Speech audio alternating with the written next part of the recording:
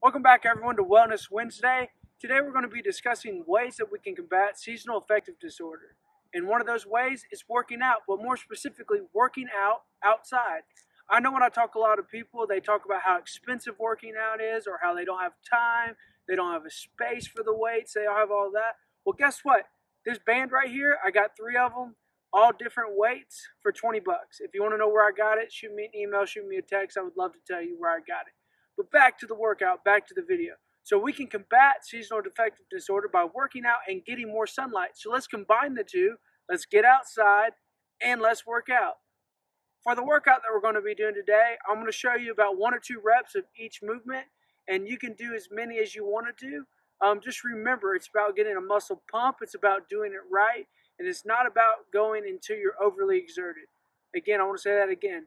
It's about doing the reps right it's about doing the movements right, and it's not about overexertion. So the first one, we're going to step into our band, get your feet about shoulder width apart, press the band up to your chest, and we're going to do a shoulder press.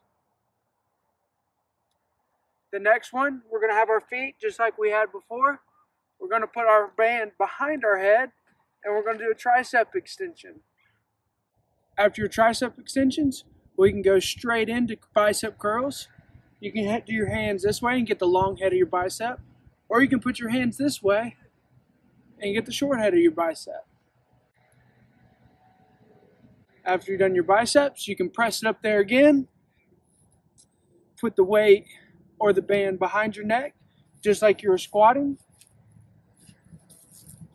From there, shoulder width apart.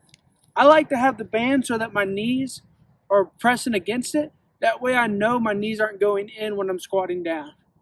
And then again, we're just going to squat. I think it's easier if you have your hands out in front of you when you squat like this.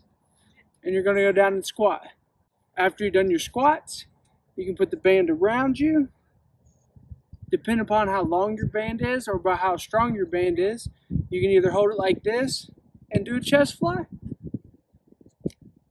Or you can put it down a little bit lower grab it inside, go back up to where you were, and do the chest fly with more resistance.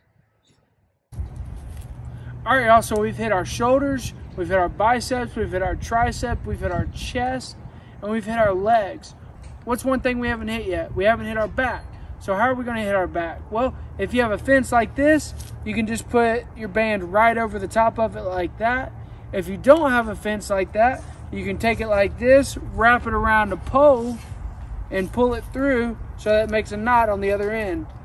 One thing that you want to make sure before we do this, you want to pull some tension on it to make sure that whatever you have it attached on is as tight as it needs to be so it doesn't break off and you fall backwards. So when we do these, we're going to be in an athletic position. We're going to have our chest up, we're going to have our hips back, and we're going to have our knees bent. We're going to have our arms about as wide as our shoulders and we're going to have our hands facing up or our palms facing towards the sky. From there, all you're going to do is pull back and try to hit below your rib cage. Next thing you're going to do is you're going to rotate your hands in so your thumbs are now facing up like this, like I'm going to shake your hand, and we're going to pull to the middle of our chest. After we do that, you're going to have your palms facing down, and you're going to pull the band to your forehead. All right, y'all, I'm sure by now you're wondering, why does he not have shoes on? Well, I don't have shoes on for two reasons. I'm trying to stay grounded, so I'm trying to get the energy from the ground so I can put it all through my body.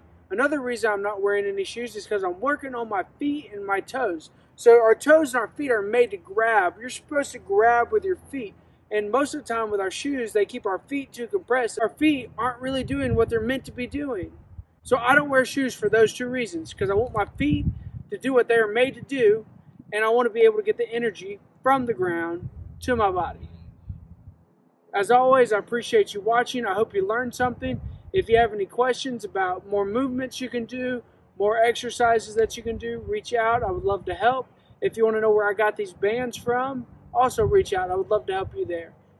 As always, thanks so much for watching. I hope you learned something, and I hope to hear from you soon.